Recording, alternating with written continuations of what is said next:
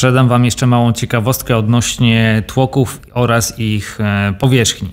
Wiele razy można spotkać, jak serwisanci e, szlifują powierzchnię tłoka, żeby ta była gładka.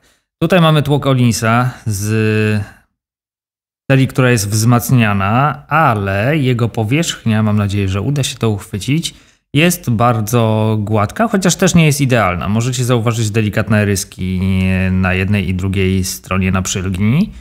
Zaś tutaj mamy tłok, który jest dodatkowo obrobiony powierzchniowo i jego powierzchnia jest taka bardziej chropowata, ma wyraźne cięcia. Mam nadzieję, że to będzie widać. Dzięki temu shimstack, który z zasady jest bardzo gładki, nie ma tendencji do przyklejenia się, dlatego że jeżeli mamy dwie powierzchnie, które są bardzo gładkie i mniejsza jest ich chropowatość, tym mają większą tendencję do tego, żeby się przykleić. Więc taki tłok będzie bardzo ciężko później otworzyć, Shrimps tak nie będzie chciał się otwierać.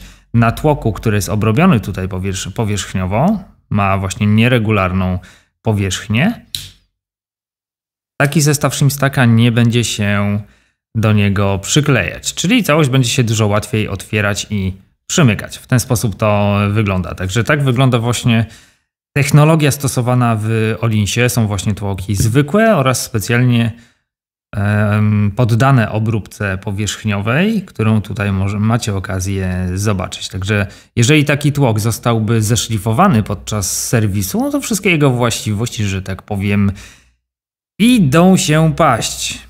I cała technologia tutaj użyta zostanie zniwelowana. Tak to wygląda.